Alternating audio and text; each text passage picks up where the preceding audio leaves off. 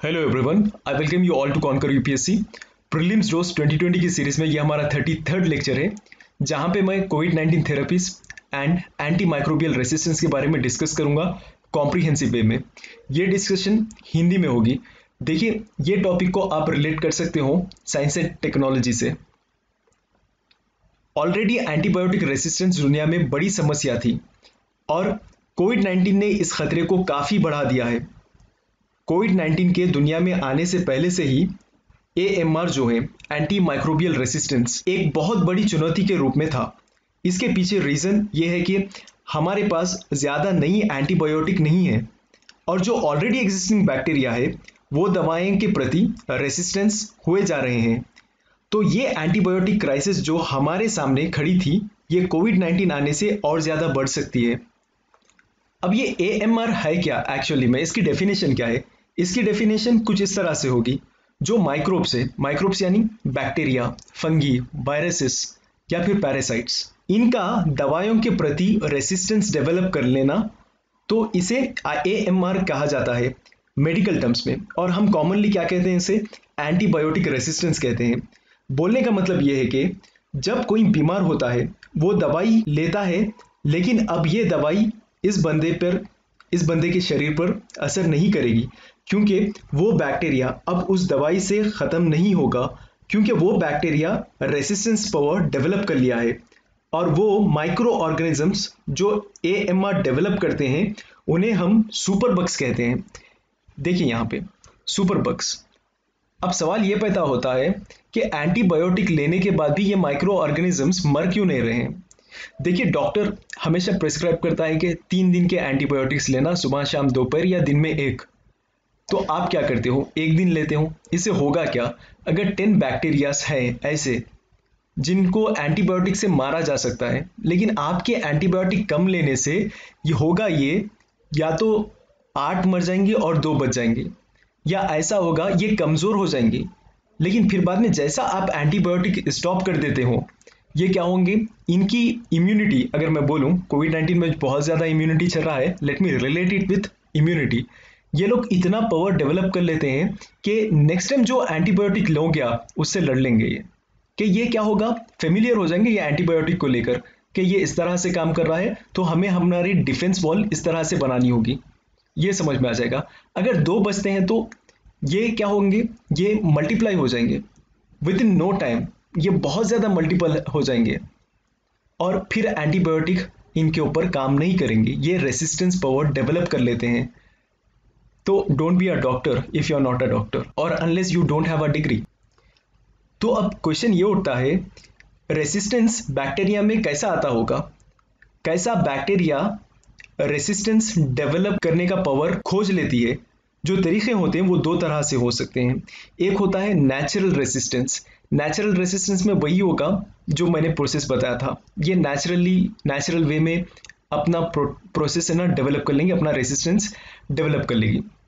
ठीक है, दूसरे में क्या होगा? जेनेटिक म्यूटेशन के द्वारा ये प्रोसेस डेवलप किया जा सकता है बैक्टीरिया के द्वारा। ना अब बात करता हूँ कोविड 19 और एएमआर के लिंक के बारे में। देखिए कोविड 19 जो है, वो इंसान के लंग्स को असर करती है। ये एक वायरल बीमारी है, इसमें न्यूमोनिया हो रहा है। अब न्यूमोनिया और फेफड़ों की बीमारी काफ़ी सारे दूसरे बैक्टीरियाज और वायरसेस से भी हो सकती हैं। तो हो ये रहा है, जब पेशेंट्स कोविड 19 का टेस्ट करवा के जब हॉस्पिटल्स में एडमिट हो जा रहे हैं, तब डॉक्टर उन्हें दूसरे एंटीबायोटिक्स दे रहे हैं। Just to sure by any chance, उसे निमोनिया किसी और बैक्टीरिया के कारण ना हो तो उसके कारण उसकी तबीयत खराब ना हो जाए तो उसे एंटीबायोटिक प्रेस्क्राइब कर दो। ऐसा नहीं चलेगा। तो देखिए, अब रीजंस क्या है एम के? क्या रीजंस है ऐसे जिसके कारण ये ए एम आर डेवलप हो रहा है बैक्टीरियाज में? देखिए, बहुत सारे रीजंस हैं, जिनमें से थोड़े मैंने लिस्ट किए हैं। एक, दो, तीन, चार, पाँच है ये। पहला वाला क्या है? इनअप्रोप्रिएट यूज़ ऑफ़ मेडिसिन जैसा कि ओवर यूज़ कर लेना। अभी मैंने बताया था, पाँच दिन और दो दिन का एग्ज़ाम्पल देकर कि किस तरह से एंटीबायोटिक्स लेना है। डॉक्टर के प्रिस्क्रिप्शन के साथ एडवाइस के साथ। ओवर यूज़ नहीं करना है उसको और कम भी यूज़ नहीं करना अंडर यूज़ भी नहीं करना है। मिस यूज़ ऑफ़ मेडिसिन नहीं करना है। अगर करते हो आप तो ये ट्रिगर कर देगा कि बैक्टीरिया रेसिस्टेंस डेवलप कर लें। लैक ऑफ़ क्वालिटी मेडिसिन देखिए ड्रग क्वालिटी एश्योरेंस सिस्टम जो है हमारा काफ़ी वीक है, जिसके कारण जो मेडिसिन की क्वालिटी है, वो भी कॉम्प्रोमाइज हो चुकी है, वो भी पुअर है। और इसी वजह से ये कमज़ोर दवाइयाँ बैक्टीरिया को मारते नहीं है, सिर्फ़ कमज़ोर कर देते हैं कुछ ही समय के लिए। फिर उसके बाद भी वापस वो रीएनर्जाइज हो जाते हैं और मल्टीपल हो जाते हैं। तो ये क्या है? अगेन ड्रग रेसिस्टेंस ये डेवलप कर लेती हैं बैक्टीरिया तीसरा है एनिमल हस्बेंड्री जब एनिमल रेयरिंग करते हो आप कि एनिमल की ग्रोथ के लिए कुछ एंटीबायोटिक्स देना एनिमल को इंजेक्शन एस्ट्रॉइड्स वगैरह देना। उससे क्या होगा? उससे होगा ये कि वही एनिमल रेयरिंग के टाइम पे आप उसका दूध पीना या उसके मीट को खाना या अंडा वगैरह जो भी है, ये सारी चीज़ें, वो आपके जिस्म में जाएँगी। मतलब आपके जिस्म में फिर से एंटीबायोटिक्स जा रहे हैं। तो इससे होगा ये माइक्रो ऑर्गेनिजम्स फेमिलियर हो जाएँगे कि ये एंटीबायोटिक्स है इस तरह से हमें लड़ना है। Similarly fourth one is poor infection prevention and control यहाँ पे क्या होगा? इन्फेक्शन प्रिवेंशन के लिए और कंट्रोल के लिए हमने कुछ स्टेप्स ही नहीं लिए हैं। इसके कारण फिर से माइक्रो ऑर्गेनिज्म रेसिस्टेंस डेवलप कर लेगा और सबसे बड़ा खतरा तो वो लोगों को होता है जो हॉस्पिटल्स में होते हैं। ये लोग मेन रिजर्वायर का काम करते हैं माइक्रो ऑर्गेनिज्म के लिए कि यहाँ पे ऑर्गेनिजम्स आ रहे हैं दवाइयों के साथ और एकदम एक तरह से एक मैकेनिज्म्स डेवलप कर ले रहे हैं कि किस तरह से लड़ना है। Last one week surveillance system हमारे पास इतनी सारी टेक्नोलॉजी होने के बावजूद भी we are unable to detect emergence of resistance और प्रॉपर एक्शंस लेने में भी पीछे हो गए हम। अब देखिए, जो इनिशिएटिव्स लिए गए हैं, ऐसा नहीं है कि प्रॉपर एक्शन कंप्लीटली नहीं लिए हम। हाँ थोड़े इनिशिएटिव्स लिए गए हैं वर्ल्ड हेल्थ ऑर्गेनाइजेशन के द्वारा कि किस तरह से हम एएमआर को एड्रेस कर सकें।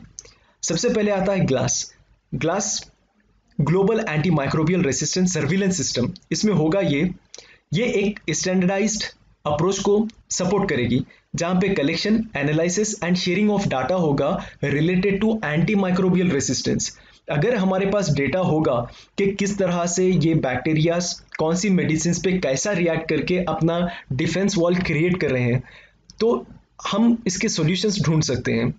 हम नई एंटीबायोटिक्स की तलाश कर सकते हैं। सेकेंड होगा अवेयर टूल ये ज़्यादातर न्यूज़ में होता ही है। देखिए, यहाँ पे क्या होगा, इसका एम ये रहता है हमेशा कि पॉलिसी मेकर्स को गाइड कर सकें और हेल्थ वर्कर्स जो आंगनबाड़ी वर्कर्स है या नर्सेस होंगे, ये डॉक्टर्स होंगे, ये हेल्थ वर्कर्स में आते हैं। कि ये लोग को किस तरह से बता सकें, किस तरह से गाइड कर सकें कि use of antibiotic safe way में और इफ़ेक्टिव वे में किस तरह से होगा। और ये क्लासिफाई करता है एंटीबायोटिक्स को थ्री ग्रुप्स में। पहले नंबर पे आता है global antibiotic research and development partnership ये एनकरेज करता है रिसर्च एंड डेवलपमेंट में through public private partnership government और प्राइवेट हॉस्पिटल्स मिलकर या रिसर्च डेवलपमेंट्स मिलकर इस तरह की टेक्नोलॉजी डेवलप कर सकें। सेकेंड नंबर पे आता है inter agency coordination group of anti microbial resistance इसको इस्टेब्लिश किया गया था United Nations general general secretary के द्वारा के काफ़ी सारा इंप्रूवमेंट ला सके कोऑर्डिनेशन में। कोऑर्डिनेशन किसके बीच में? इंटरनेशनल ऑर्गेनाइजेशंस और इफ़ेक्टिव ग्लोबल एक्शन के बीच में। कि इंटरनेशनल ऑर्गेनाइजेशंस को ये बता सकेंगे किस तरह से इंश्योर किया जा सकता है इफ़ेक्टिव ग्लोबल एक्शन और lastly one health approach one health approach क्या होता है? देखिए वन हेल्थ अप्रोच के बारे में ऑलरेडी मैंने डिस्कस किया है कि ये एक ऐसा हेल्थ अप्रोच होगा जहाँ पे हम ह्यूमन बींग्स का एनिमल्स का एंड एनवायरमेंट का, ये सारों का ध्यान रखें कि किस तरह से बेस्ट प्रैक्टिसेस अप्रोच करना है प्रमोट करना है। कि इमरजेंसी को कैसे टैकल कर सकें और स्प्रेड ऑफ़ एंटीबायोटिक रेसिस्टेंस क्या है वो समझा सकें लोगों को। और ये यूज़ ऑफ़ एंटीबायोटिक्स बताएगा ह्यूमंस में और एनिमल्स में। तो ये होगा वन हेल्थ अप्रोच कि ह्यूमन बींग्स में किस तरह से एंटीबायोटिक्स कौन सी क्वांटिटी में यूज़ करना है एनिमल्स में किस तरह से यूज़ करना है, कौन सी क्वांटिटी में यूज़ करना है, ये वन हेल्थ अप्रोच के सहारे होगा। अब बात करते हैं इंडिया में किस तरह से स्टेप्स लिए गए हैं ये ए को टैकल करने के लिए।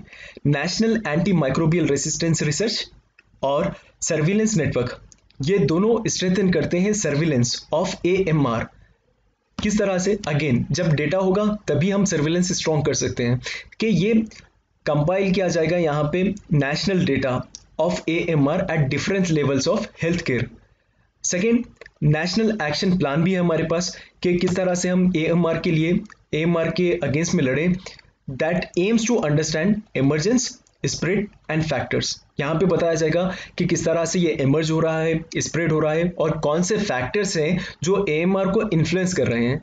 और तीसरा red line campaign red line campaign में ये बताया जा रहा है कि एंटीबायोटिक्स पैकेजिंग को किस तरह से कर्व कर सकें ओवर द काउंटर सेल के बहुत ज़्यादा एंटीबायोटिक्स बेचना नहीं है। प्रिस्क्रिप्शन के बिना एंटीबायोटिक्स बेचना नहीं है। इस तरह से गाइडलाइंस की अवेयरनेस कराई जाएगी रेड लाइन कैंपेन में। This is for today thank you very much